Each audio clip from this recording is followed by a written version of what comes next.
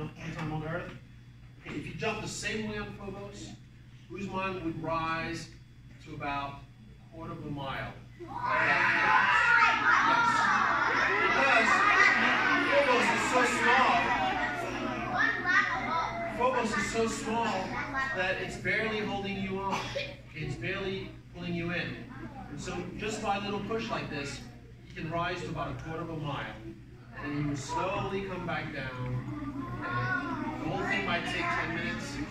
And, and then you just land on his feet, just like this. There you go. You would just land like that. And he comes back down.